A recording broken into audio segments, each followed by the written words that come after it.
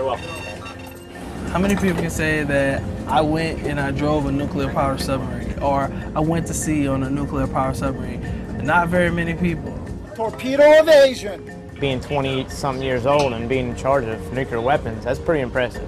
What I really want is a sailor who has heart. He has pride in his ship. He wants to go out there and succeed in every task. I chose submarines because I love the fact that they're undetectable for the most part and uh, strike capabilities from out of nowhere. They range across the world's oceans in silence, with a potent array of weapons at the ready. They are the U.S. Navy's submarine force. One of their weapons, the submarine launched ballistic missile, helped America win the Cold War as a deterrent against Soviet aggression. Even now, U.S. Navy ballistic missile submarines continue their role to discourage those who might want to harm the United States. And there's another group of subs in today's force ready to meet the threat of an adversary with a variety of weapons from Tomahawk missiles to special forces. At the controls are a new generation of submariners who carry on a tradition of silent service beneath the sea. For much of the Cold War, the U.S. Navy ballistic missile submarine, known as the SSBN, was a rare sight on the ocean horizon. Where they went and when was shrouded in secrecy, as it is now and will be in the future. Since the 1960s, they've been tasked to cruise undetected through the world's oceans. Designed and built for one critical mission in an age of nuclear weapons to help deter the threat of global nuclear war. Bridge, helm. Maneuver and answers ahead one third, sir. Helm Jack.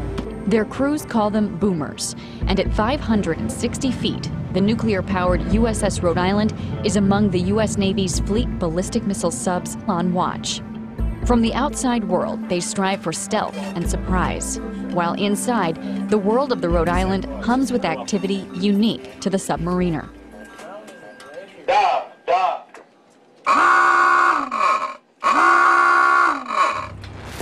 Dock, dock. Five four. Coming partially open with the breach door.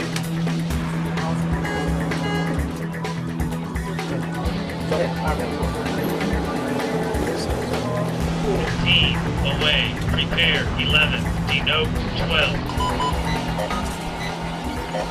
The USS Rhode Island's nuclear deterrent punch is packed here along this corridor. 24 massive tubes, each capable of housing a ballistic missile. It's here in vital spaces like these where life goes on for Rhode Island's crew of more than 100 submariners. Inside each rack, you have lift up. You have storage storage space for your personal items in here, and also you have a personal drawer for mostly toiletry items, uh, gee dug. On submarine, you're, you're more close knit, so it's more of a family type setting. Vessel hurt. Take stational panel for uh, operations. Take station panel for operations. Yeah, and you can you can tell when a guy's actually having a bad day just from being around him on a day-to-day basis. You know, hey, this guy's having a bad day. You know what? I want to go talk to him and try to pick him up. You know, cruise mess is where the crew eats. Uh, crew comes down, sit down, and this is where we enjoy our meals. Right now we have fruit set up because it's breakfast time. Uh, throughout the day there's fruits, snacks, cakes. The USS Rhode has a little bit of history for myself because this is where my career actually started. I started here as an E1 back in 1994. I checked on board July 15, 1994. Well, I have 16 and a half years in the Navy, three and a half left, and to finish my career where I started is kind of special to me.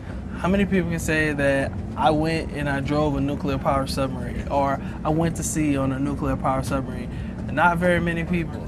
You have to be fit and selected to come to a submarine force. And that was the thing that attracted me the most is that the submarine force was different from everything else. Secure from general emergency. When junior guys come in, we train them that, hey, what we do is important, so we're supposed to remain submerged and undetected. So we instill that in them that, hey, being submerged and undetected counts a lot for what we do. As they go through their qualification process to earn their submarine qualifications, they learn more and more about, you know, being submerged undetected and how how much we depend on them as much as they depend on us to be able to save their lives. We depend on them to be able to save our lives at the same time. Mr. Ford launchers by Vanguard not auto two clears. My name's MT1 Joe Ament. And we operate the system panel to actually operate it so we are able to launch a weapon. The, the switches here, we have to line them up to be able to launch the missile. Each tube is specific to allow us to open the hatch and pressurize the tube. I tried out college, didn't work. I had a little part-time job. I was like, hey, driving home one day, might as well check it out. Once I got to my first boat, they welcomed me, and I don't know if I did something or the stars lined up, and I, they accepted me for who I was and how I worked, and I've been going full speed ever since. Uh, we uh, stand six-hour watches. You're either on coming, off going, or on watch, and you just stand your six-hour watches. Then when you're off going is when you have to do your maintenance, your cleanup and all that. And we actually uh, have an inspection in three weeks. So right now we're getting ready to hit it pretty hard. Set condition one is Q for training without guidance with launcher. This is the captain. This is an exercise. I'm Commander Bob Clark, um, USS Rhode Island uh, Blue Crew commanding officer. And I've been in this job for about two and a half years now. I've been in the Navy for uh, a little over 20 years and uh, this is my fourth submarine tour. I kind of view our, my command as a football team, but difference between my team and uh, most professional football teams is I feel like my second stringers are as good as my first stringers. Six eight, shut the fence. Seven zero. And that's because we conduct training continuously, and we're putting those guys on in continuously into the game. Not many people work in an environment where you reposition one valve improperly and you can cause a major catastrophe. 14 member, make the four part room ready, 2 1 low, 2 1 from launch. Make the four part room ready, 2 1 low, 2 1 for launch. Aye, sight glasses dry. So that meticulous attention to detail and really watching what you're doing at all times is vital in the submarine force. We, as a and SSBN are here to become the survivable asset for strategic deterrence, regardless of the uh, a rogue nation state or a or a terrorist group.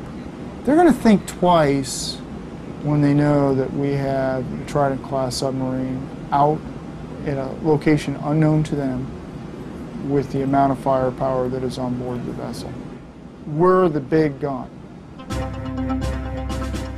Preparing for post-Cold War threats also has the U.S. Navy outfitting some of its Trident ballistic missile subs for a different kind of fight, equipping them to carry Tomahawk missiles and to support special operations. And there's another breed of U.S. subs built for stealth, to get close to an enemy near land or at sea and strike. All of them are designed so that they can perform several different missions. Obviously, with the uh, 688 being the, the oldest of the three, still a very, very capable submarine and is out there collecting intelligence, conducting surveillance and reconnaissance, still has insertion cap, soft insertion capability, can do search and rescue missions, can do mine warfare missions, plus they can complement their insertion capability with the strike capability at the same time that they're putting the special forces ashore. And in some cases, the Virginia adds future design improvements as well because it was designed with modularity so that we can add on into the future. The modern day other world submarines are getting quieter and quieter uh, every day what that means for us is we've got to improve our sensor systems that we hold on board, and we got to improve the quieting on board uh, our own ships. Every time we go in to refit, we are conducting modernization improvements on, on the USS Rhode Island and the rest of the Trident fleet. The concept of deterrence hasn't changed. It's that unknown, the unknown of there may be a ballistic missile submarine out there waiting waiting in the wings is what keeps a lot of countries from doing things to the U.S. is because they don't know there's that sub, there's that fast attack submarine or there's that ballistic missile submarine out there, and they just don't know, can't find us. We remain submerged, undetected. Overall, it's still the crew is driving the submarine. The, the better your crew is, the better the boat's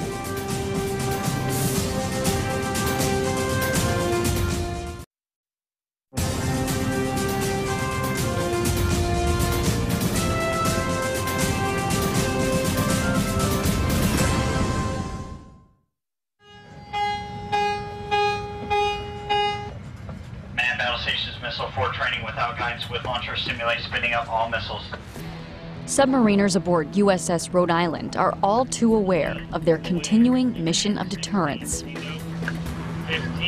away, prepare, 11, denote, 12. They sit at the controls, knowing they could help to launch one of the most powerful weapons in the world a missile loaded with nuclear warheads. 11, away, prepare, 22, denote, 16. Prepared 16. I don't really look at it as a weapon that we're actually going to use be due to us being a strategic deterrent. I'm getting ready to leave my 20s, but being 20 some years old and being in charge of nuclear weapons, that's pretty impressive. I just try to look at it as just my job and do the right thing.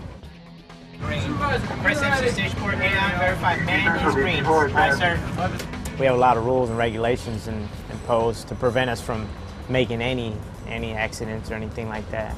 Theirs is a revised version of the original intent behind the U.S. ballistic missile sub. Today's boomer stands ready to deter any number of potential adversaries. In the Cold War, there was one primary threat the Soviet Union. And the mission to deter the Soviets from attacking the free world with nuclear weapons.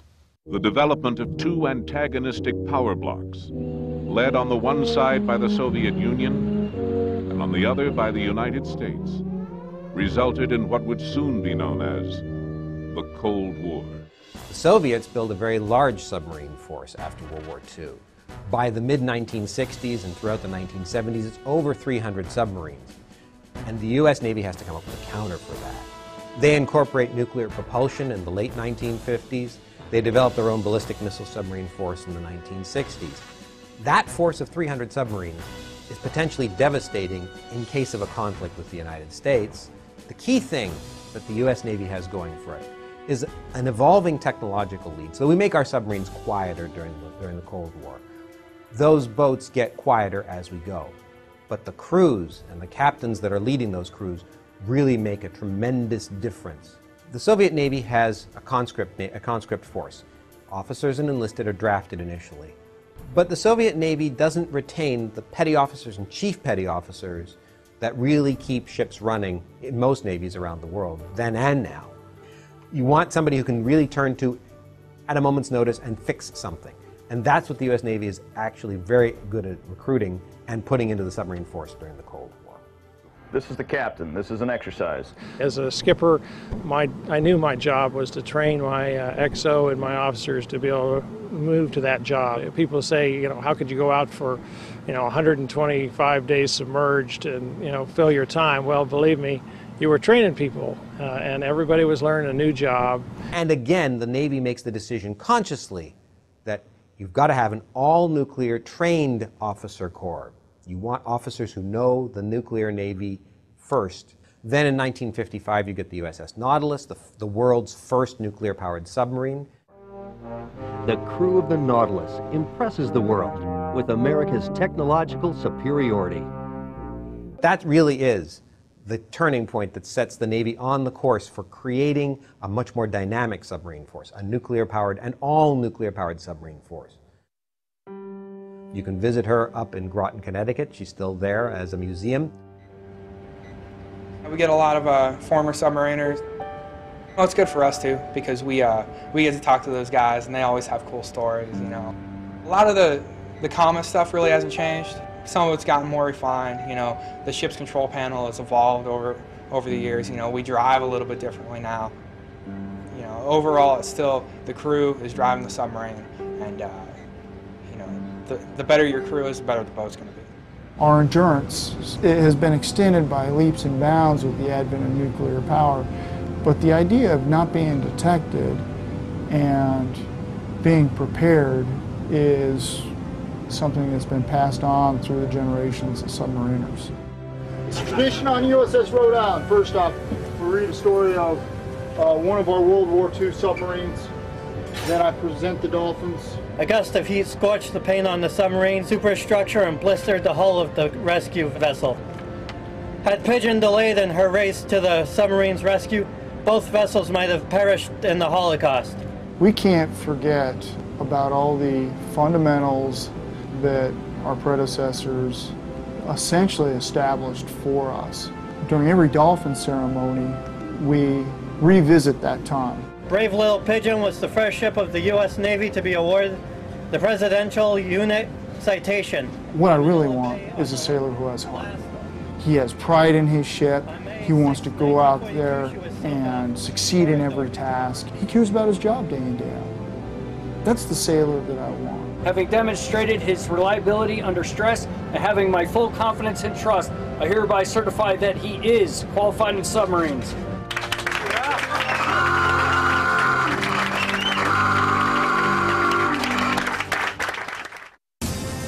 Torpedo men in general work very hard together, work very close together, because it takes more than one person to tube load a weapon and protect the ship.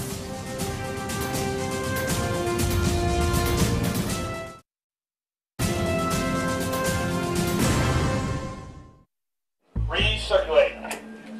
Submariners at the controls of the USS Rhode Island guide a vessel launched in the 1990s with a blend of analog, mechanical, and electronic systems.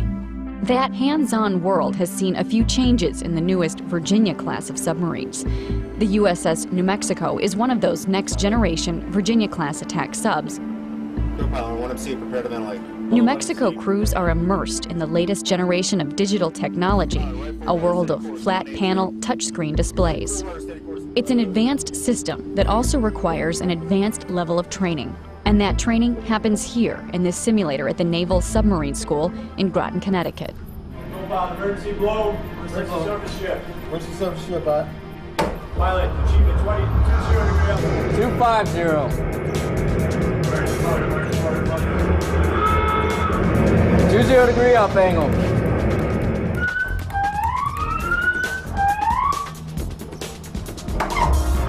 Emergency surface ship. Emergency surface ship, pilot eye. Top plane.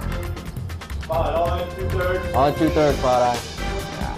Pilot, all in standard. All in standard, pilot eye. Top seven.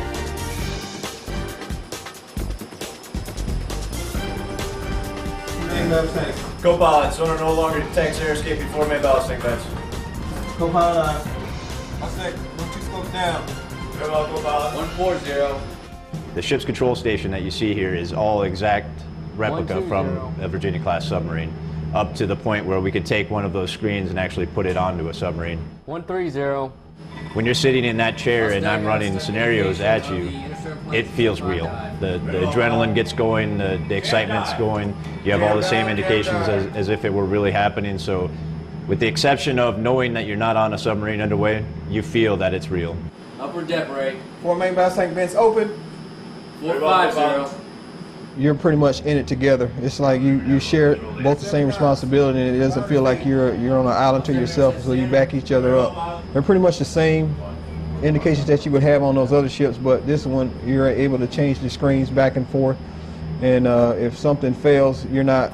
Uh, say for instance, if a screen fails, you al- you always have three other screens to look at.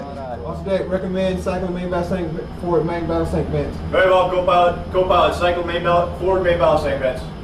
With the joystick it's a it's a finesse to it um, because you're you're used to pushing and using your muscles and now all you do is you're moving your hands back and forth so it takes a little bit to uh, get that finesse I'll stay there and say two thirds. Very well, pilot. 400 feet. Seven five. And this is almost the same exact thing on the boat. So, and with the movement of the cab and everything, it's it gives that realistic feel. Pilot, emergency surface ship. Emergency surface ship, pilot eye. 500 feet. While the Naval Submarine School supports home ported submarine crews looking to maintain skills, it's also the first step for sailors looking to be submariners. That includes sailors in its basic enlisted submarine school, along with basic and advanced school for officers.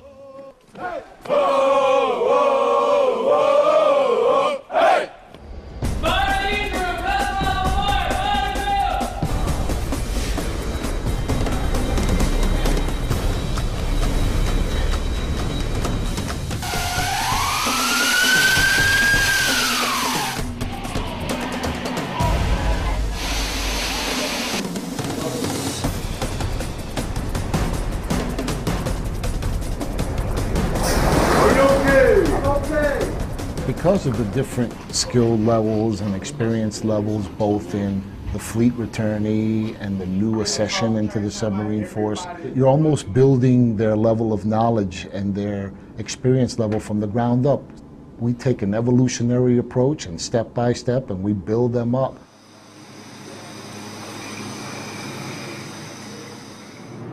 I am a part of the Navy right now, but having no sea time experience, you kind of feel a little separated. So I'm looking forward to kind of, you know, pulling my own weight and, and earning what it is that I've been given. I've toured a few submarines, and uh, whenever I become engineering officer of the watch, I'm going to be in charge of the reactor. So that's going to be pretty hefty. So you have to know what you're talking about when it comes to that. Now, when we do PKP, we'll have a hydraulic rupture. From a hydraulic rupture to a bilge fire. So let's do the hydraulic. There's so much to learn. Uh, the, the capabilities of our systems are so vast uh, that you're limited in the amount of instruction you can give.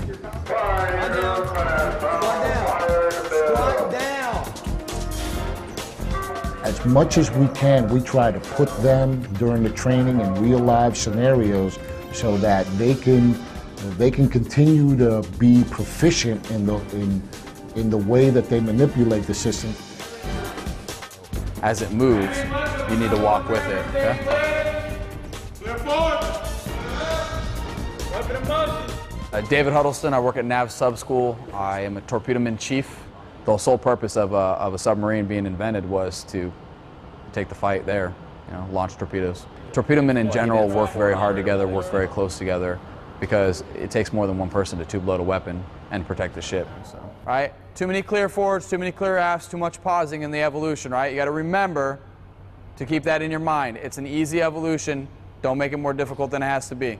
Safety is our most important element. You know, torpedo room, it's a pretty dangerous place. 25 inch holes in the torpedo room, explosives all over the place. All it takes is one problem, one accident, and that could be it for us. Warning! Show the after ship rabbit and personnel are clear of hoist area. And warning. In warning. Understand warning. Slow it down just a little bit, all right? We train to shoot torpedoes, we train to shoot missiles. That's what our job is. Stop bolt to the fire position on. All right, now check your indication on your Wilkie. That's in fire. Your, all your stop bolts are right here. Load, lock, and fire. I'm Petty Officer Blaine, second class submarine qualified. Taking the stop bolt to the lock position. Stand clear. Torpedo mates have just a long history. I wanted to be part of that history. They're, we're very proud. We know how to get the job done, and I like to consider myself that way, and I thought I would fit in perfectly.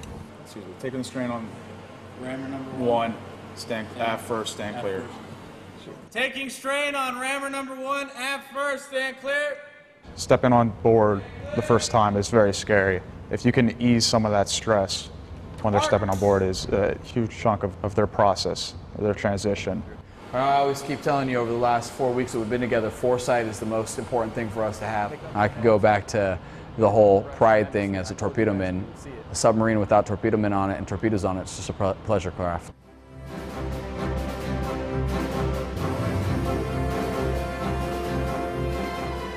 We won the Cold War.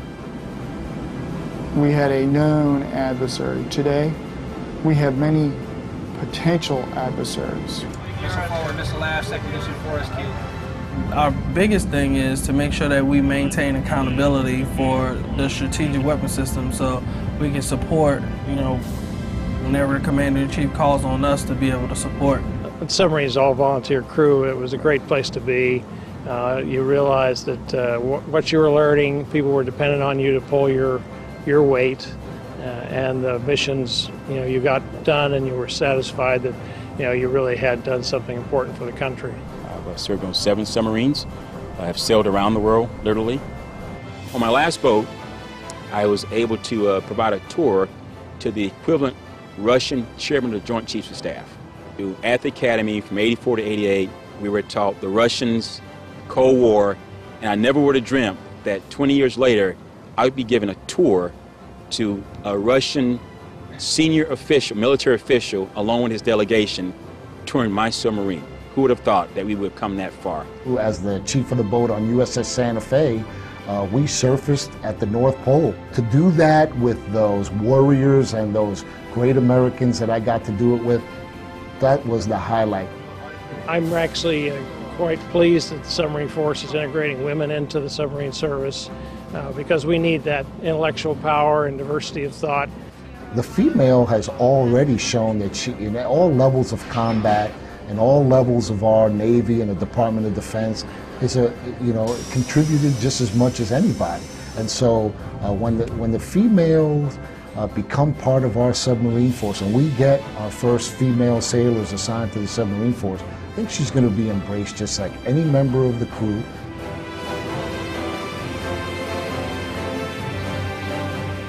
Robots can't perform our jobs. Uh, robots can't make the judgment calls that we that we have to make. Installing bit fuses. Install the proper bit fuses.